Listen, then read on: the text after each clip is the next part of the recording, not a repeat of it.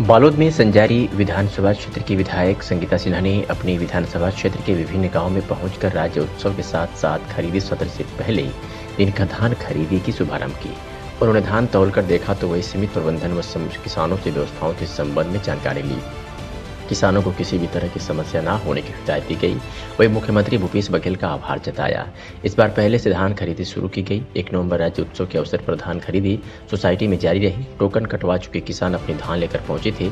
लगभग सभी सोसाइटी में बोहनी हुई। धान खरीदो केंद्रों का लोकप्रिय विधायक संगीता सिन्हा ने पूजा अर्चना कर शुरुआत की। वे प्रमुखता धान खरीद केंद्र कुरूर केंद्र मुखा केंद्र से हितकेसा इतेकसा पहुँची थी। दौरान साथ में सुमित राजपूत, ओकार मोहम्मल्ला नवनियुक्त सोसाइटी अध्यक्ष भूषणपुरी गोस्वामी जीवन जीवधन सिन्हा लाल कौर, ठाकुर प्रमुख अतिथिगण, धान बेचने आए, किसानगण मौजूद रहे। विधायक ने किसानों को ऑनलाइन ऐप टोकन तुरंत तुहर हाथ योजना का भी लाभ उठाने की अपील की ताकि सोसाइटी में टोकन कटवाने की भीड़ से बचा जा सके। तो ये डबल खुशी के दिन है आज। और खुशी एक सकती है कि हम छत्तीसगढ़िया हरन ना तो छत्तीसगढ़िया के एहसास होना चाहिए हम। हमारे मन में एक छत्तीसगढ़ की भावना जागृत रहना चाहिए। काबर कि हर राज्य में अपन अपन राज्य के अस्तित्व है, लेकिन छत्तीसगढ़ राज्य में अपन अस्तित्व में लाए में थोड़ा समय लगी।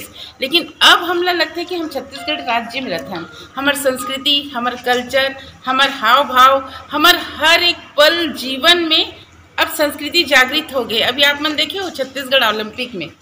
ओमे हर कोई, चाहे युवा साथी हो, चाहे हमारे सियान मन हो, चाहे हमारे माता बहनी मन हो, हर कोई अच्छा से अपन पूरा समय दे के, दिवाली तिहार ही से, ओकर बावजूद हर समय उमन अपन संस्कृति के प्रति जागरूक होके खेल कूद में भाग ली और जैसे गिल्ली डंडा रही से अगर हम आज के बच्चन हम दिखाते हैं गिल्ली डंडा ला तो नहीं पहचानतीस। है नहीं बाबूजी? उन्हें क्या तीज त्योहार हो? तीज त्योहार में भी हरेली तिहार हमन विलुप्त हो चुके रही वह ला आगे लायक काम करीस तो खास करत है, ओकर लिए हमर जो धान की कटोरा कहलाए जाते आप मन अच्छा से जानते लेकिन अब अब वो धान के कटोरा ला कैसे हम किसान भाई मन ला मज़बूत करें एक सती सब योजना आपके लिए, गौठान योजना भी आपके लिए है जो भी योजना लाना थे सब किसान भाई के लिए ताकि किसान भाई मन आर्थिक रूप से मज़बूत बने, किसी पे डिपेंड मत रहा है खुद से अपन आगे बढ़े। पहले एक मन पलायन भी करत रही से, आने के लोग मन पलायन करे, भोपाल में कमाए खाए जाए।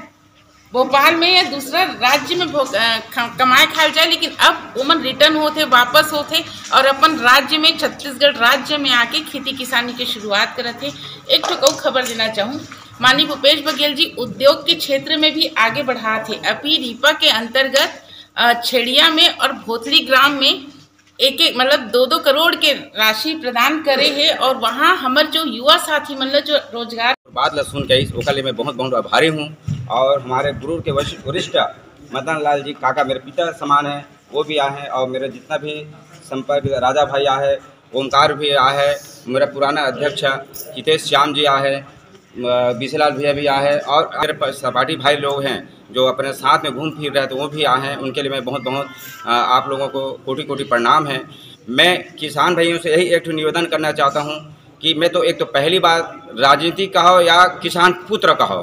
पहली बार मैं तो एक तो आए हूँ और किसान अपना धान को सही में मतलब किसी का लड़ाई झगड़ा या किसी प्रकार की कोई त्रुटि नहीं होना चाहिए और किसान एक तो यही ध्यान रखना, जब भी कांटा कहीं जाता है तोड़ने के लिए। ठेकेदार तो बिल्कुल अपना किसान अपने धान के पास रहिए और किसी को मतलब विपत्ति वाला समय नहीं आना चाहिए कि कई प्रकार के आते आधा कांटा एक किलो मार दी, दो किलो मार दी, ये समस्या बिल्कुल नहीं आना चाहिए। मैं ठेकेदार भी आए सामने, में उनको भी बता देना चाहता हूँ, किसान अपने धान के समय बिल्कुल वहाँ खड़े रहे। किसी की शिकायत शिकायत नहीं आना चाहिए, है ना? कई प्रकार के मतलब और एक ठोक किसान भाइयों से ही निवेदन करना चाहता हूँ, कई प्रकार शिकायत भी आता है कि जानबूझ के बोदरा या गीला धान ला लेते, ओला थोड़ा निवेदन करना चाहता हूँ, वो शिकायत बिल्कुल नहीं आना चाहिए अपने हिसाब से। मतलब किसान के पुत्र हैं और किसान ही जाने सब धान ला। हमरे धान हरे, हमरे छरे यही चीज़ मैं थोड़ा संभाल के मतलब देखना भैया विवादित भर खड़े करना है। एक तो ज़्यादा बोल पा नहीं सकूँ, मैं पहली बार तो मैं राजनीति में आया हूँ उनके लिए आप लोगों को क्षमा चाहता हूँ, और बढ़ाएगी अब आज बीस सोसाइटी है। एक बार भी एक बार ताली बजना चाहिए किसान में सोसाइटी के बहुत सारा गाँव अलग हो गए, जेकर से जितना गाँव आते तो किसान एक सुविधा मिलते।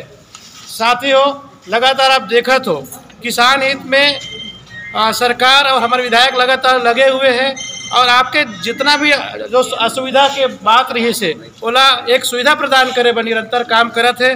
और हम भविष्य में भी ये चाहत हन विधायक जी लगातार ये बात रखते थे कि अगर भविष्य में भी आप लोग किसी भी प्रकार के असुविधा होते तो आप निश्चित रूप से हमारे जो प्राधिकृत अधिकारी है जो जेकर निवास दानी टोला है और कर जो पत्नी है जो कि वो स्थायी जगह है तो भूषणपुरी गोस्वामी जी से आदरणीय विधायक जी से या और कोई जनप्रतिनिधि जो आपके संपर्क में है ओकर से मिलकर आप अपन आ, कोई भी समस्या का समाधान कर सकते हो। इस वीडियो को लाइक करें हमारे चैनल को सब्सक्राइब करें।